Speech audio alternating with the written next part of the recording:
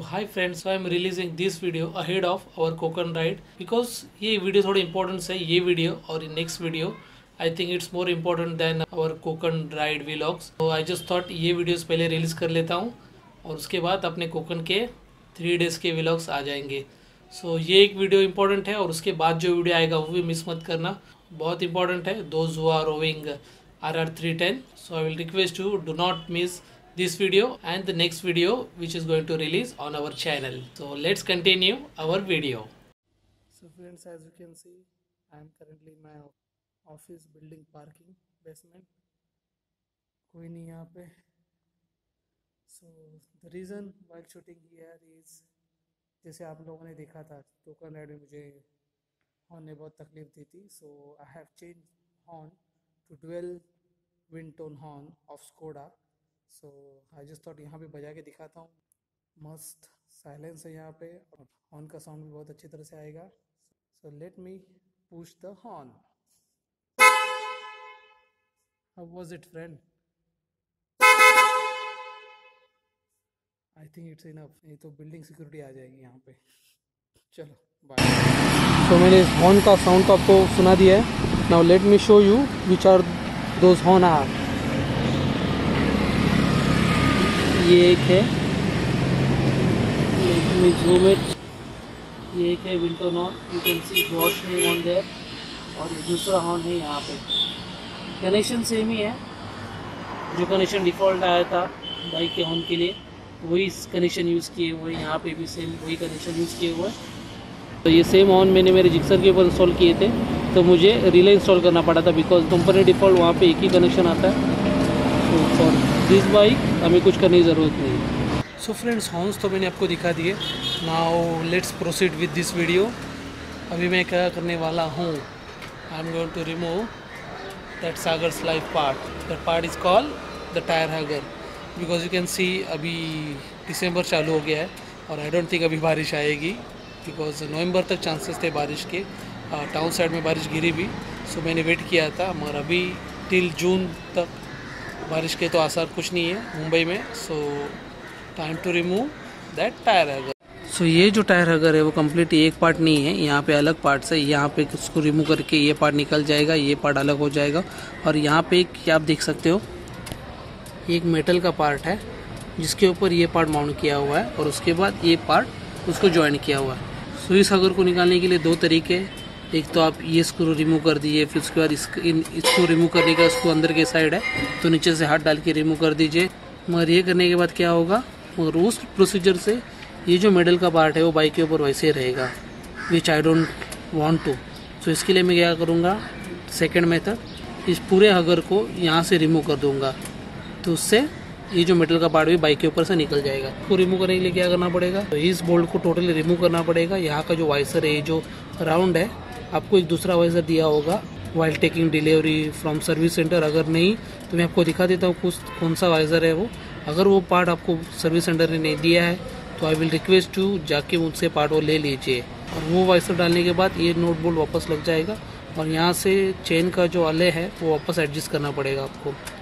So without wasting time I will show you how to do the same so friends welcome back to channel in starting of this video i already shown you Uh, what are the new horns I installed and also I told you what the things what the changes we are going to make in a bike so bike is here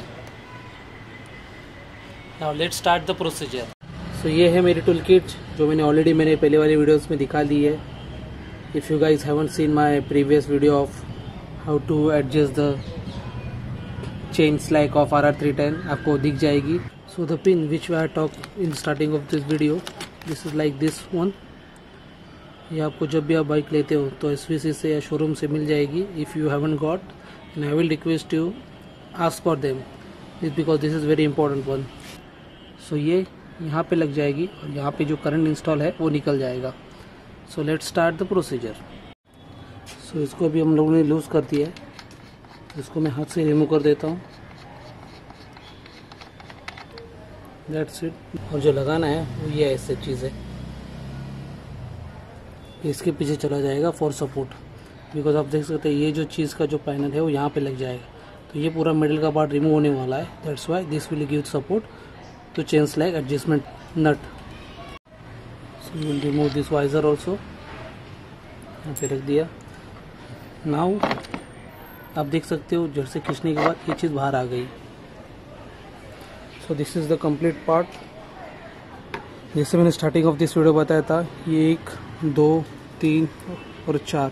ये चार screw है। ये remove करने के बाद इसके ये एक पार्ट ये एक पार्ट और ये जो मेडल का पार्ट तीन पार्ट अलग अलग हो जाते हैं। So other than removing each and every part ये एक ही पार्ट आप रिमूव कर सकते हो। वेरी इजी प्रोसीजर है। और यहाँ पे वो नट बोल के चेंज लाइक प्रॉपर एडजस्ट करनी है। So let me keep it this aside we have to adjust this part at this gap so let see ये डिफ़ॉल्ट जाता है या नहीं जाता है। अगर नहीं जाता है तो चेन का स्लैग आपको एडजस्ट करना पड़ेगा बाय यूजिंग दिस नट जो चीज़ मैंने ऑलरेडी मेरे चेन स्लैग एडजस्टमेंट की वीडियो में दिखा दी थी। सो so, यहाँ पे नहीं जा रहा है। So I will loose this nut so जो ये तेरह नंबर का पाना है वो परफेक्टली बैठ जाएगा यहाँ पे। So I will loosing this one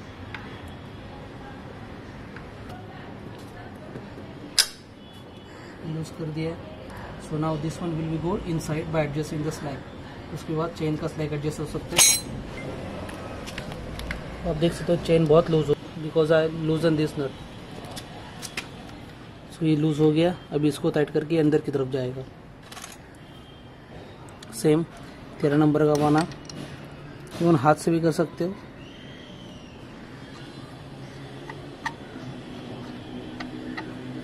इतना एडजस्ट किया। लेट सी वेदर यहाँ पे बैठता है या नहीं।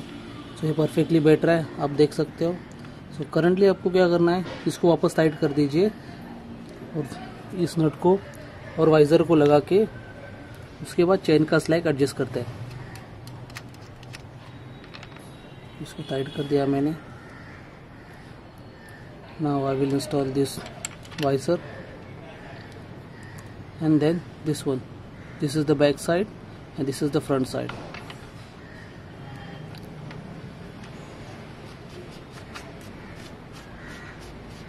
that's why I told you this part is very much important go ask your SVC if you haven't got that one because उसके बगैर आप ये पूरा पार्ट रिमूव नहीं कर सकते आपको मिडल का पार्ट इतना रखना ही पड़ेगा which looks very bad now let me tight this one so now I have to adjust this loose chain slack by loosing this one also and उस साइड की तरफ़ का भी same I am not going to show you this one right now because I already made the video about how to adjust the chain slack of R R three ten if you guys haven seen उसकी link अभी आई button में आ जाएगी so you guys can check it out also chain जो है Konkan ride के बाद पूरी ड्राई हो गई है सो so, कल ही बाइक वॉश कराई थी so I will loop the chain also so that's it my friend very easy processor. tha if you guys like this video don't forget to that like button share with your friend and ha if you haven't subscribed to my channel yet then please do subscribe because i made this kind of videos so now let me give you good shots of naked tire of RR310 from backside. So friends now let me show you how cool the bike is looking now after removing that ugly mudguard. Isn't she's looking awesome? That naked tire looking too cool, man, too cool. Now she's looking as a perfect sport tourer. For me, it's tourer.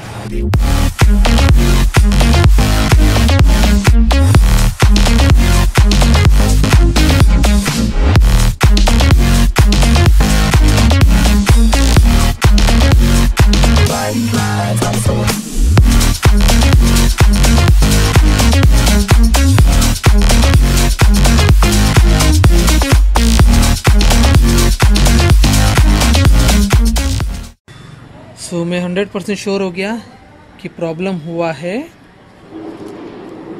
इस fuse box में।